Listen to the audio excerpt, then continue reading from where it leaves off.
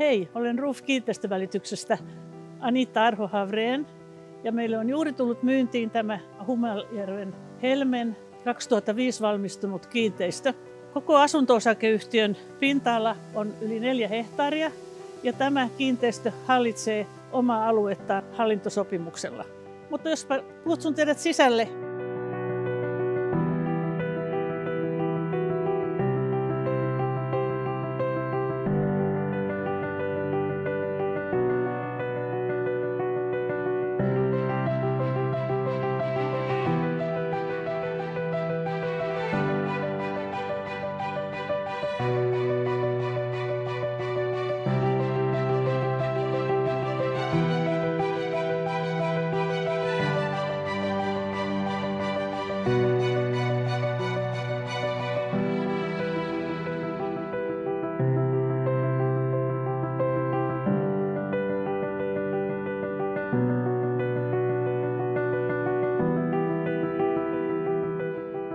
Nyt olette nähneet talon sisältä.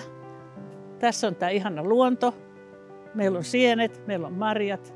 Meillä on Helsinki 30 minuutin päässä.